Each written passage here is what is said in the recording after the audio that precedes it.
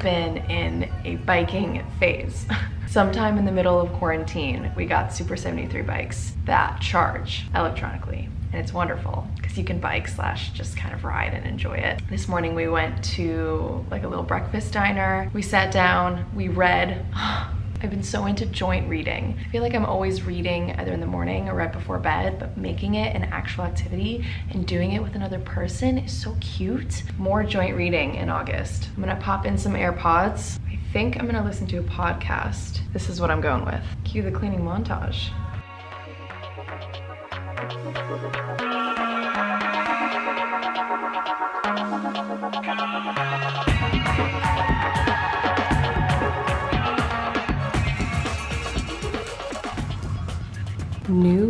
New vegan lobster rolls. And, I enjoy it. whoa. That's amazing.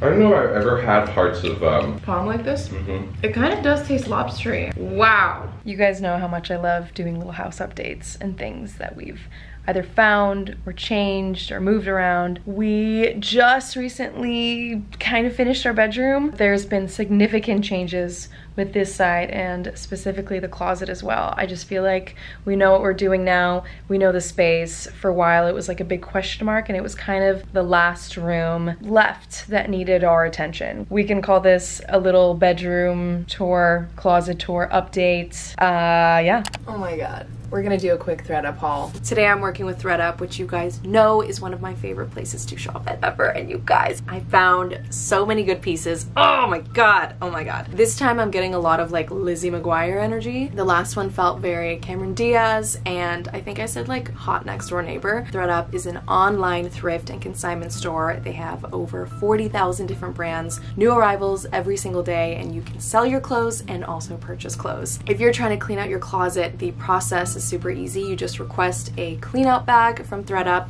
They ship it over to you. You fill it up with clothing, you send it back. It's that easy. You can find things for up to 90% off. I will also be giving you guys a promo code at the end of this bit, so stay tuned for that. The item that I'm first starting with, I can't wear right now because I have to wait until it's colder outside. Fabulous absolutely fabulous. This faux leather jacket is from Andrew Marc and the estimated retail price is $695 and I got it for $135.99. There is really just nothing to say because I think the jacket speaks for itself. It's incredible. I love the fur collar. Holy crap.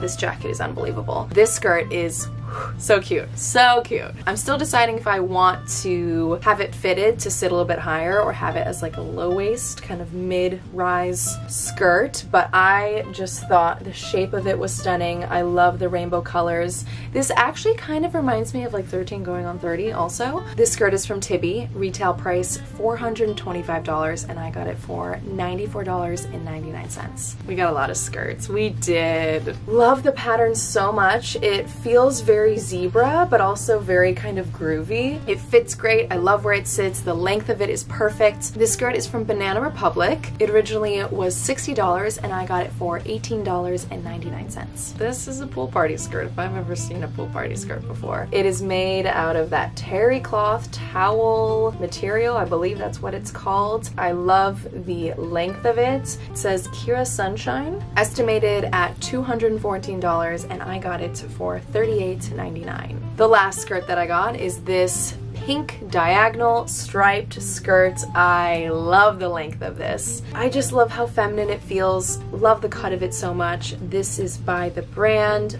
Laundry, estimated at $167 and I got it for $41.99. That is Lizzie, I'm sorry. These two items I got for under $15, which is always exciting. This Calvin Klein hat, still with the tag on, $11.99, estimated at $35, and I just love the colors. I love the print on the front. I would wear this hat with like a maxi skirt and a crop top. Is that weird? I don't know. That is cute. Sparkly Speedo flip-flops. Come on, I'm into them. Estimated at $24 and I got them for $14.99. I'm really trying to sell you guys on these. I don't know. I don't know what the general opinion will be, but I like them. We got some low-rise jeans. I know, you guys saw it. We all saw it coming. These are from Hudson and they are a very, very dark blue wash They flare out a little bit at the bottom. Wonderful, wonderful fits. Retail price 190 and I got these for 36.99, which is crazy. Um, oh my god, how could I forget? These I might have to sell you guys on. We might be getting mixed feelings here, but for me, these are hot. We have some Harley Davidson studded wedges. With the phone case, I'm sorry, I'm sorry. The estimated retail price was $179 and I got them for $50.99. As mentioned before, I have a special promo for you guys. If you want 30% off of your first order, then just use the code Claudia at checkout. Very easy. Obviously, it will be linked down there. I'm so excited to hang all of this in my closet and curate some outfits. ThredUp, I love you guys so much. I love working with you guys. This is amazing. Let's hang these guys up. Walking in, this is what you first see, and I just feel like we finally figured out the space. We figured out the direction that we want to head into. A lot of this hasn't changed. These chairs have been here for a while. We got them from Sunbeam Vintage, which is like a secondhand vintage furniture store out here. These pillows are ancient. They're from Target. I think we're gonna switch them up with something colorful and more exciting, but right now we just have them there. I got this glass coffee table also from Sunbeam Vintage, and the funny thing is when I first bought it, I wasn't planning on putting it in this room. I don't know what I thought I was gonna do with it, but I was just like, oh, I have to have this. This is so beautiful. Now it like separates the room. You know what I mean? It's like, okay, great. We have the bed and we have this little living space. Like now we actually use these chairs. I'm realizing everything is from Sunbeam, but this dresser is also from the same store. If you guys remember, I used to have like a white modern dresser here. It was the one that I had in my last place and it was just, you know, very West Elm, very modern, very that vibe, which is just not this house. There's a lot about this guy that is imperfect and worn in and I think that is what this room needed. I love how the top of this dresser kind of sets a little bit further back than this chunk. Like, I don't know, there's just something about it. I love the shape. Everything that we already had on top of the other one goes perfectly with this. What style would you guys say this dresser is? Like, is this mid-century? It's giving me kind of mid-century, but also a little bit of something else. I don't know. I can't put my finger on it, but I am in love with it. Let's move on to the star of the show. Maybe I'll start here. This is the smaller closet, as you guys know. I did go in here and just kind of reorganize like the bins at the top. They don't look that organized right now, but we went through all of our shoes, all of our sweaters, everything. This step ladder isn't very cute, but it is very essential. Yeah, I've kind of gone through everything in my closet, color coded most of it. Yeah, this sort of screams like organized chaos, but it's good enough for me. I'm fine with that. I, wow, you guys. I mean, are you taking this in? Because we've got a showroom. Truly, like, what I feel like this looks like. Let's back it up. So, okay, for starters, points for the boyfriend. He found this rug while I was gone, and it's perfect. Here's my side of the closet. Starting over here, I've got all of like my fitted t-shirts, everything that covers my shoulders, long sleeve shirts, and then just like all of my t-shirts, baggier t-shirts, shirts that I sleep in. Right above that, I have all of my tank tops. We have so many of those. I've tried to sort of color coordinate them. Mm-hmm. In here, I've got like shorts, bras, leggings, workout items, essentially just all athleisure. Here we have crew necks, zip up sweatshirts, a couple of hoodies. Up here I have my jeans because I wear jeans so often, so they kind of go, well, I guess they should start like light blue to dark blue to gray and then black, so I should like switch, that's just fine, whatever. um, and then I just have my shorts folded underneath there. In these two drawers, the thing that I've done wrong for so long, that rhymed, is I always had my sweatpants in here, and I wear sweatpants every single day, no matter what I'm wearing on top. Like it's just what I wear at home. And so these drawers were never organized organized because it's just hard to like fold sweatpants and keep them tidy. And I have a lot of like matching sweat sets and different hooded sweatshirts. I have squeezed all of them into these drawers, which is great because if I need one, I can see all of them and pull them out. And now I keep all of my sweatpants in here and it's just like easier to reach, easier to organize. And it used to be vice versa. Like I had all my hooded sweatshirts here and I never like utilized this. I don't know. If, is this interesting to you guys at all? I don't know. Here I just have like bras, underwear, socks. Let's address this sexy wall we have going on here because for a while we felt like we couldn't cover up these windows because they were allowing in so much light. We always say that we'd have them open, but in reality, we like never had these curtains open because it obviously reveals too much when we're like changing in here. And for a while, like in the center of this wall, we had this little nightstand with like Finneas's weights on it and stuff. And it was like the first thing that you saw when you walked into the bedroom. Then randomly one day, I bought a rack for this closet because I just needed more space. And so I had one and then I wanted it to be symmetrical, so I think then we added one for him and we had two, and then randomly like the dresser. So then at that point I thought, well, let's just fill up the whole wall with racks, make it look seamless, make it look purposeful because there was something very like random and chaotic about it before, but now that we have four identical racks filling up the whole space, it looks really intentional and I don't know, like more organized and thought out, thought through, I guess. So on my side, I have all of my button-up shirts, all of like my my white button-downs, button-ups, button-downs, same thing, I don't know. I keep my short dresses right here. My long ones are in the closet in my office. I have all of my nice sneakers down there and then a lot of just like my everyday boots up here so that they're easy to grab and also they're taller so they don't fit in the other closet. And then, you know, he's doing his thing right here, being respectful about it. We love an organized closet. You guys, you guys, you guys, you guys, do a little bit of this action, which we never do by the way, but Oh my god. This is feeling very adult, very sexy, very sophisticated, very intentional, into it, hardcore into it. Quick poll, is it more exciting to finish a book or finish a journal? I started a new one at the top of this year as one does, and uh, finally finished it. So this is the new one. This is from Moleskine, which I feel like is the most popular types of notebook. I don't know, but I loved this color. Truly, if I'm looking at the first half of this year, it is so crazy how much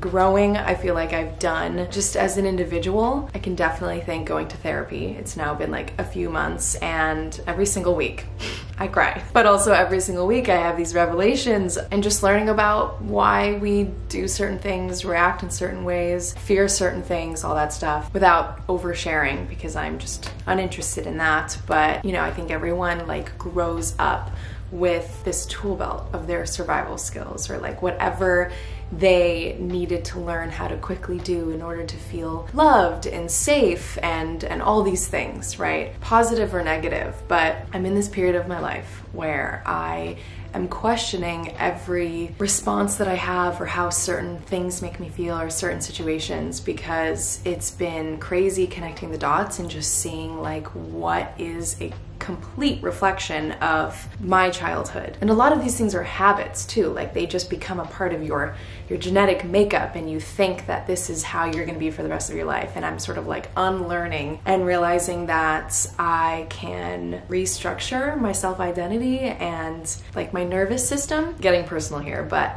I think, I believe, my personal greatest fear is letting people down. That's kind of a vague and general umbrella. So, underneath that, I hate being the reason any sort of conflict arises. Yeah, hate letting people down and also really worry about being misunderstood. Like, I panic and I stress when I feel like someone thinks of me in a way that is different from my true being. I remember telling you guys a little bit about this and sort of the whole concept of like saying yes and no to things. I'll try to link that video down below if you guys haven't seen that one, but that totally falls under that.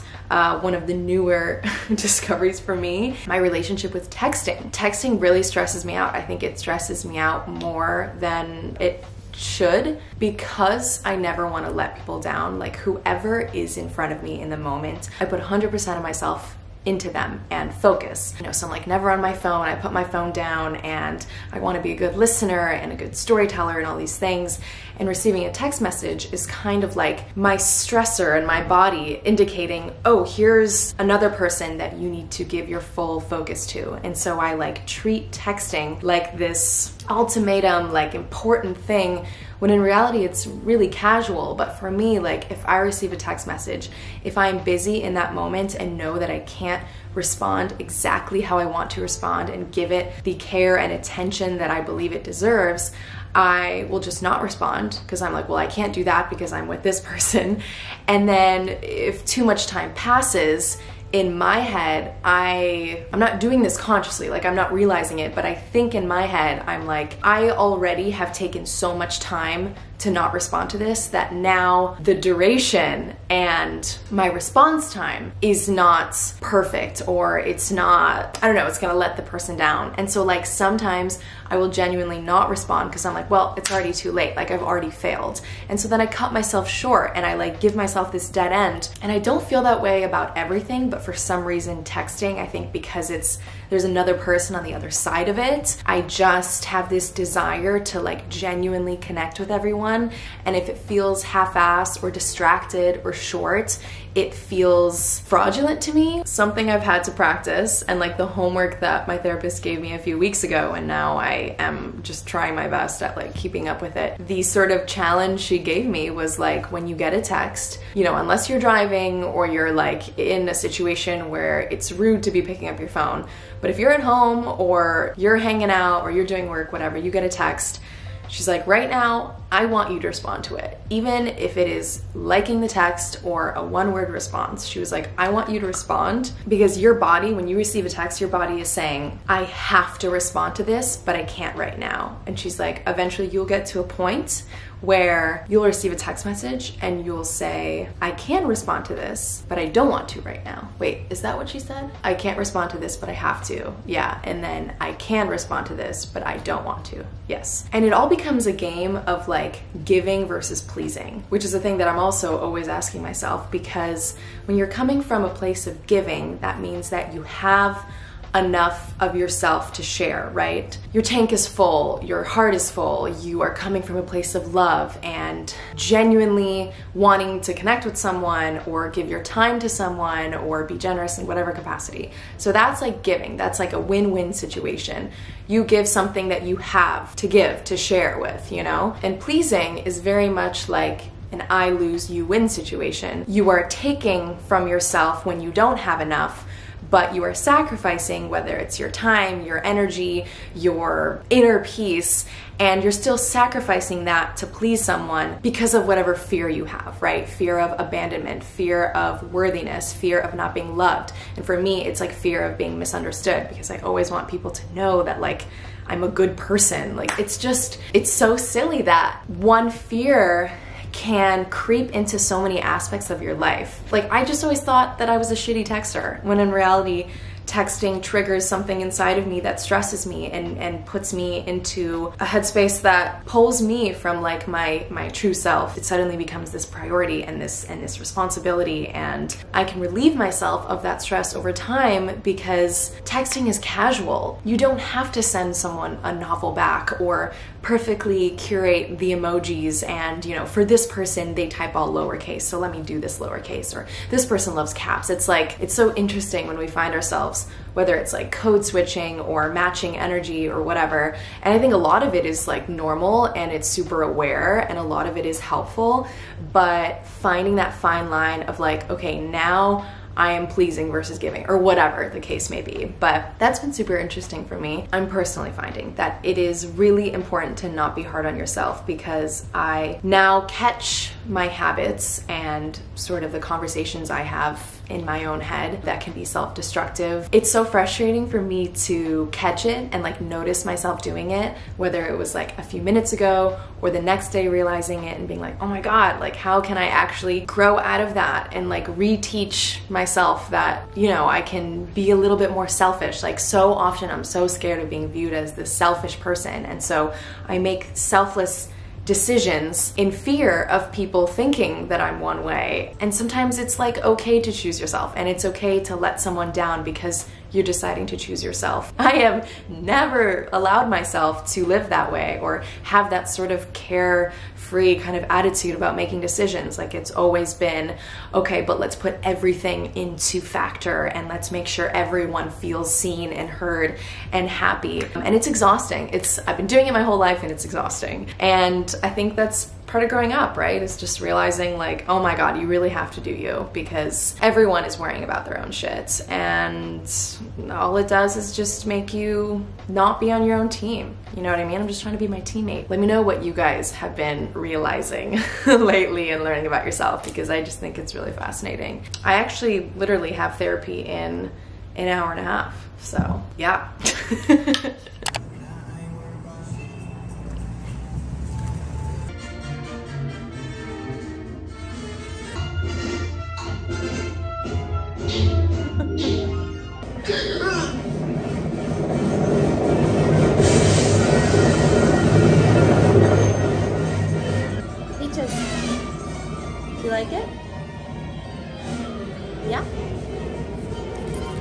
you guys so much for watching today's video and thank you to ThredUp for working with me. If you guys want 30% off of your first order, all you have to do is use my code Claudia at checkout and I will have the link in the description box, of course. I'll see you guys for a new video very soon. Bye!